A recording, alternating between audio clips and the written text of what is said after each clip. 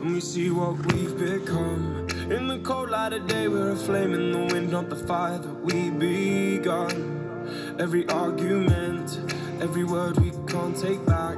Cause with all that has happened, I think that we both know the way that the story